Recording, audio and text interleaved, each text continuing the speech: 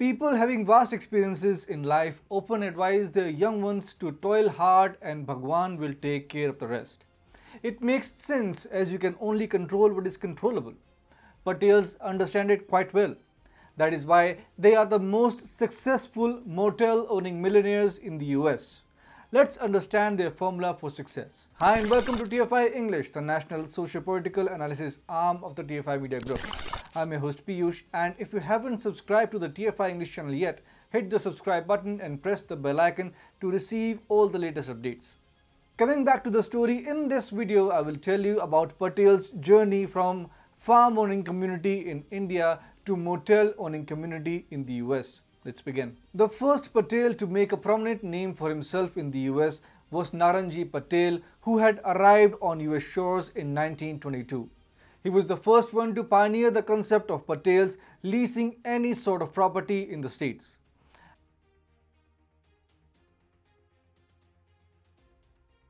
At the time, leasing a single room occupancy or SRO used to cost around $2,500 for anyone. Naranji set up his first SRO and invited other Patels to follow suit. Naranji used to provide food and free lodging to other Patels in his SRO. But the main thrust of the idea was provided by a migrant named Kanji Kanjibhai Desai. The motel in which Kanji lived was owned by a Japanese American. Suddenly, Japan and the United States got entangled in the Second World War.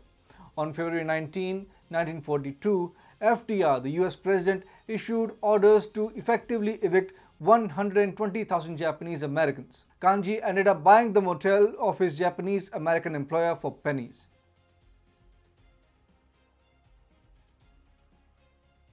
Kanji used to provide lodging to other Patels along with the salaries for the work they did.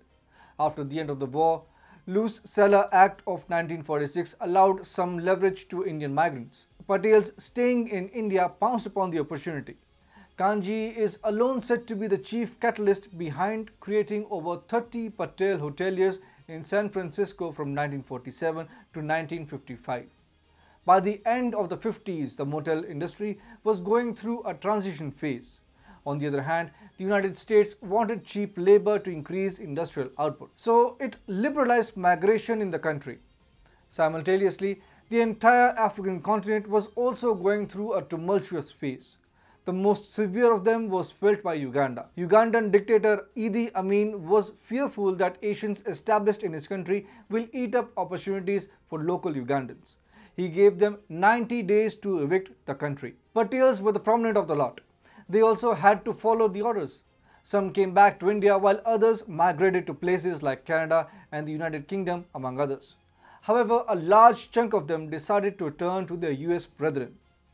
Simultaneously, many affluent Patels from India were also migrating to the US in order to find a sense of freedom from the tightly knit joint family structure. The influx of Africa and India-based Patels turned out to be a booster shot for the community's prospect in the States. Motels became a second home for the newly arrived migrants. Most of them were not much educated and could be employed only for improving basic perception around these motels. Patels started to operate these motels as a family. Additionally, if the space did not allow, people were hired on fixed wages.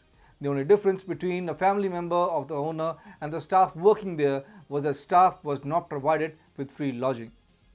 Husband and wife mainly used to do everything in the motels. The family used to cook food for the customers and clean among other stuff. No family member had any qualm about cleaning even the most dirtiest of the places in the motel. Even cleaning the bathroom used to be the onus of the family. The line between personal and professional life was not there. Whenever a customer arrived, the family had to switch off from their personal time to spend a few minutes earning revenue. Working together as a unit brought two kinds of advantages for the Patels. First one, due to it being a family business, members used to give it their all. Secondly, they were able to save a lot of money which later helped them in acquiring new motels. Those who worked on daily wages but had entrepreneurial ambitions were provided loans by the community members. These loans were not based on any kind of collateral. In fact, even the interest rate was zero. The trust in the community was so deep rooted that no member of the community used to run away with the money. That level of trust can even be seen today. There is no better example of trust on word of mouth than this. The loan program provided a further boost to Patel's expansionism. They were already becoming a hotbed for travelers due to their cheap pricing, but now they started adding facilities as well. Initially, to pull customers towards them, motels used to give free coffee, donuts, and waffles, among other snacks. As revenue increased, so did incentives to customers and henceforth the customer base of these motels. According to a report by the Tribune, Indians owned more than 50% of motels in the United States. 70% of those were owned by Patels. Today, one Patel family owns nearly 5 to 6 motels. According to a 2014 report, 17,000 motels in United States are owned by Patels.